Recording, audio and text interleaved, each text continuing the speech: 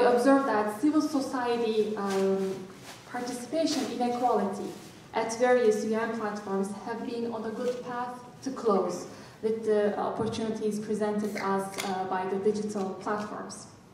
And um, indeed, before we move on any further with our program, as I'm again sure many of us in the room are aware, uh, Turkey and Syria were uh, severely hit by a devastating uh, earthquakes on February 6th, exactly one month ago. And um, many, many others uh, followed with high magnitudes. The death toll in Turkey unfortunately passed over 45,000, leaving hundreds displaced and injured. So uh, if you could please join me, I would like to call for a moment of silence, uh, keeping all those in our prayers and thoughts, uh, all those who lost their lives or loved ones in this tragic incident.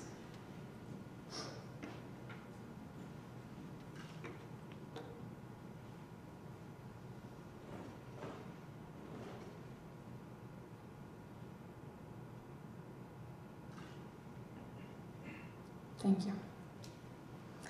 Um, as I earlier mentioned, the room is filled with uh, human rights advocates, but foremost, I would like to thank uh, Her Excellency Madame Céline Calvez, uh, member of French Parliament, Permanent Representative of uh, Sri Lanka Ambassador Mohan Pieris, Permanent Representative of uh, Myanmar Ambassador Kyaw Moe Tun, the, uh, Deputy Permanent Representative of Chile Rene Rudiegas, and diplomats from Ministry of Women and Gender Equality of Chile, uh, Minister Counselor of Permanent Mission of Guatemala, Libna Bonilla, and from UNITAR uh, New York Ambassador Marco Suazo, and of course distinguished diplomats from Permanent Mission of New Zealand. Thank you so much for your distinguished presence tonight, uh, supporting the uh, JWF Global Engagements during CSW.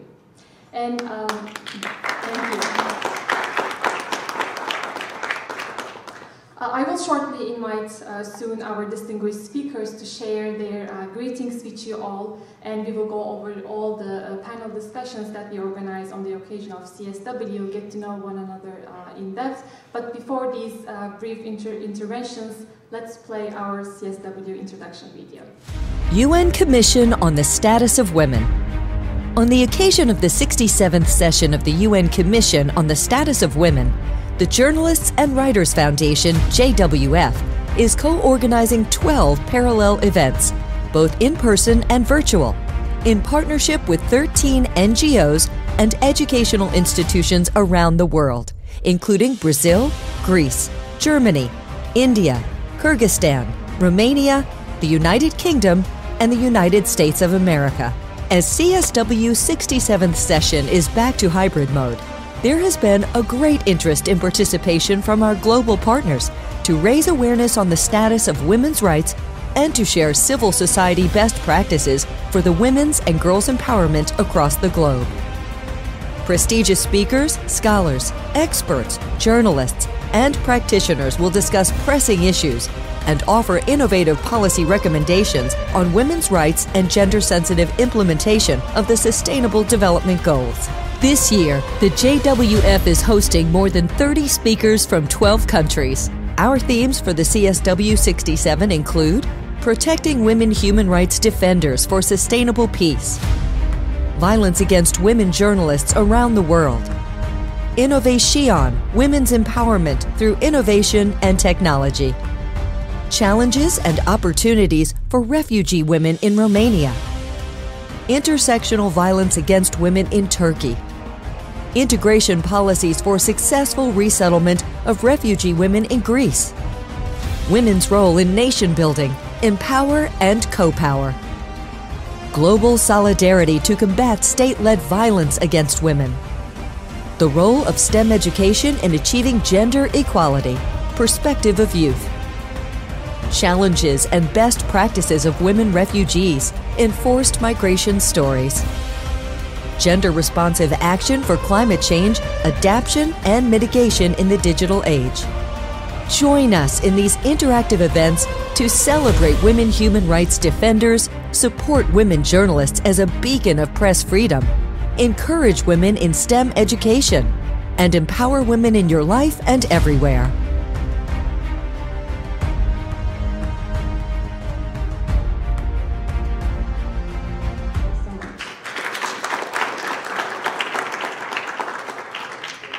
Now I would like to give the platform to Mehmet Kılıç, the president of Journalists and Writers Foundation.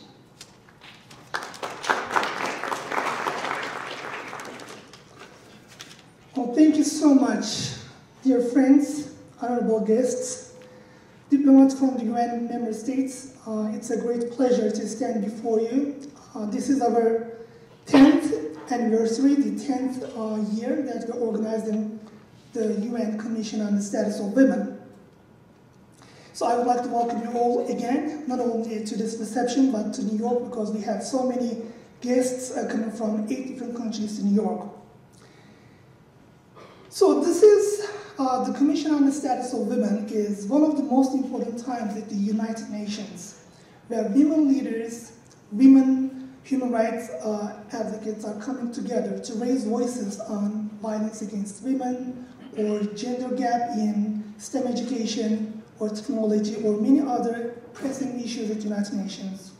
And also it is important for not only for men, but not only for women, but men to stand in solidarity with women because this is not only women to talk about, to come together to talk about these issues, but men has to be, uh, uh, be here as well because we are the other part of the problem or we are the other part of the solution. So it's important that men and women, we are all standing together in solidarity.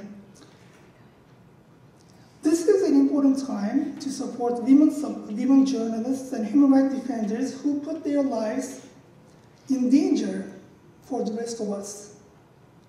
Think about what happened in Ukraine or many other conflicts. So if it is not for those journalists who risk their lives at the forefront, trying to give us information of what's happening, to learn about what's going on, I think you know they really deserve an encouragement and let's give a round of applause for the journalists.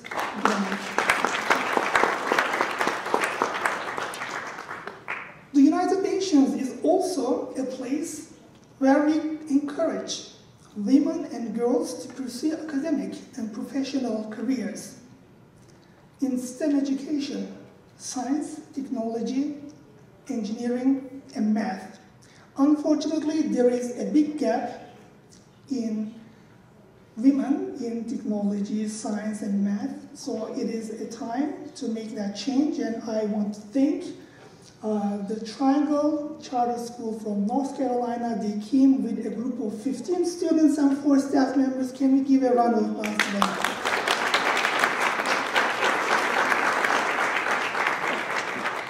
Because we believe youth is the future.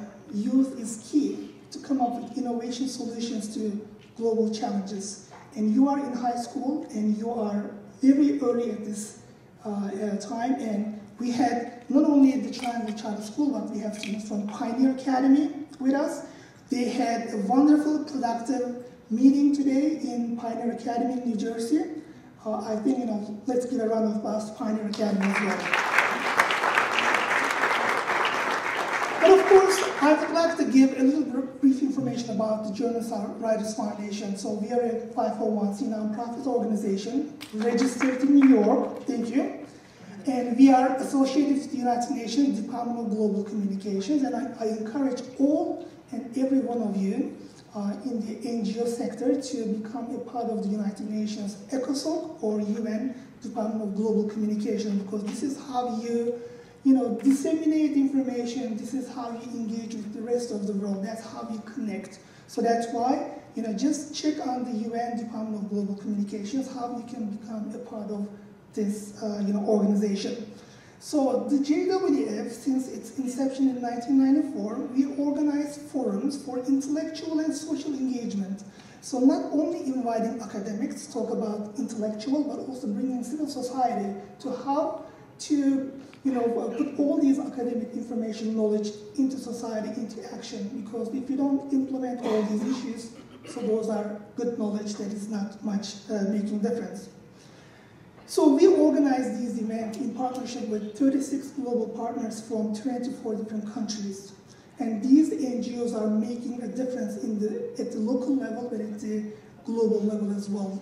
Currently, we have uh, 13 NGOs from eight different countries, from Romania, Greece, my colleague mentioned UK. Please let's give a round of applause to these NGOs who are with us.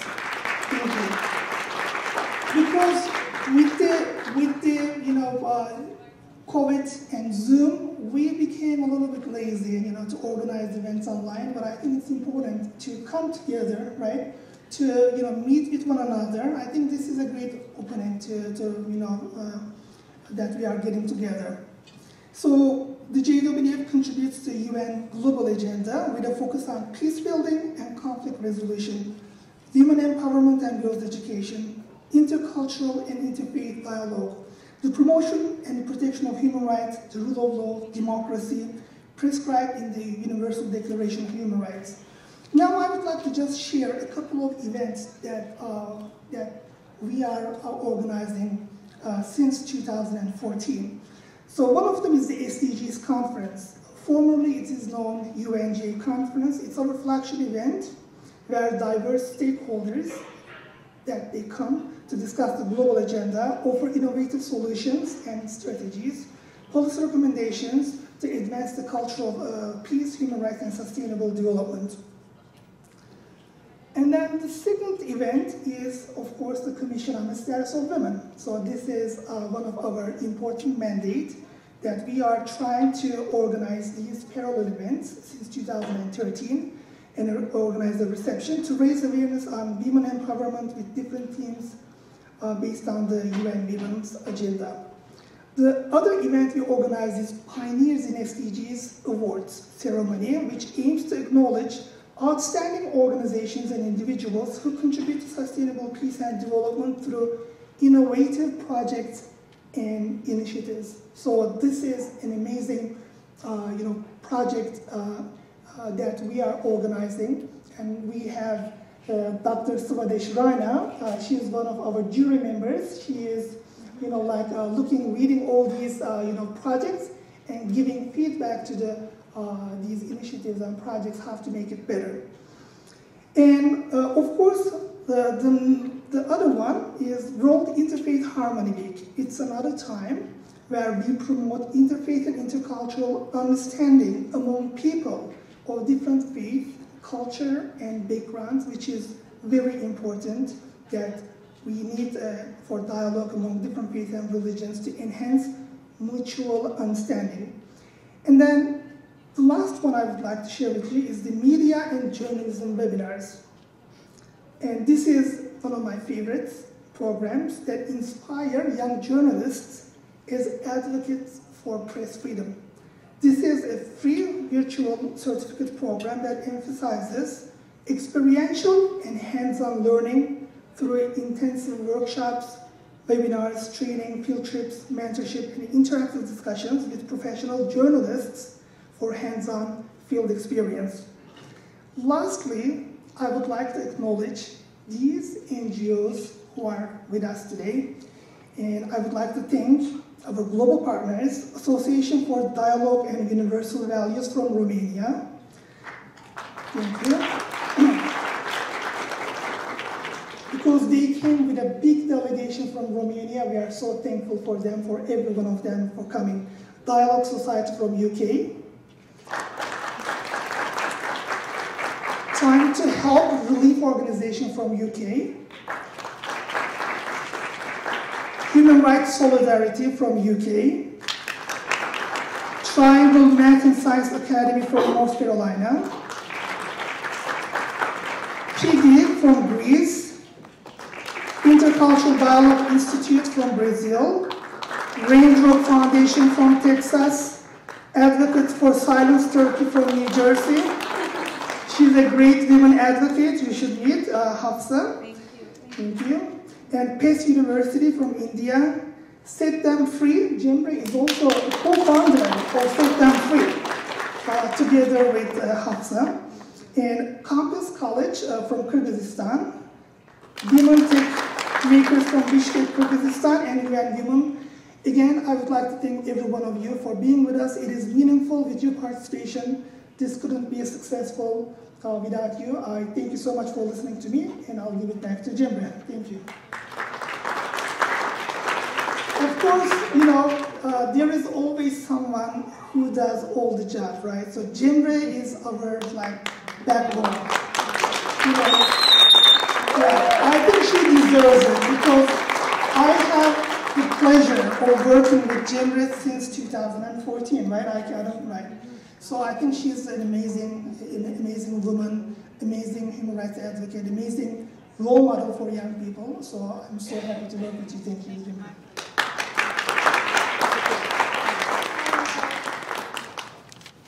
So I'm filled with energy to come back. Go girl!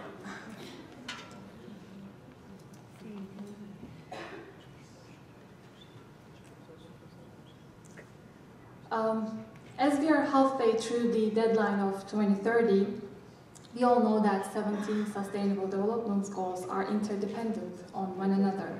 And indeed, it's not possible to achieve SDG 5, gender equality, um, without gender-sensitive uh, policy actions for the Sustainable Development Goals, the rest of the 16 uh, development goals, as women are subject to intersectional violence on many different grounds. Today, the opening day of CSW also marks 533rd day since all girls living in Afghanistan are banned from schools. Since uh, February 24th, it was the one-year anniversary of the war in Ukraine, where women and girls have been, and they are still, subject to various sexual crimes under this conflict.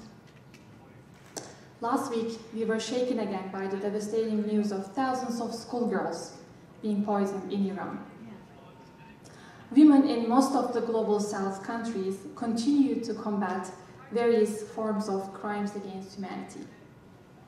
Thus, on the other hand, many, many UN reports indicate that women's meaningful participation in sustainable development, transitional justice, economic empowerment, you name it, media, politics, STEM, they all foster sustainable development and positive peace, most importantly for all. So gender equality is not an issue that should sh fall on the shoulders of women only. We need he for she's in the room more than ever to support us in this fight. Recently at Davos, the uh, World Economic Forum, UN Women announced that it will take another 286 years to close the global gender gap. And I really don't think that we have that much time and patience to wait that long to live in dignity, to live a life according to our own choices, not depending on what is dictated by the misleading cultural, religious, social, and patriarchal norms. This past year, during the various uh, UN speeches of UN uh, General, uh, Secretary General Antonio Guterres, UN uh, Women's Executive Director, and, and many other diplomats have been underlining a common motto, saying that we must push back against the anti-women rights pushback. So I think this is what we aim tonight in this room, creating more cohesive civil society policy suggestions. I truly believe that the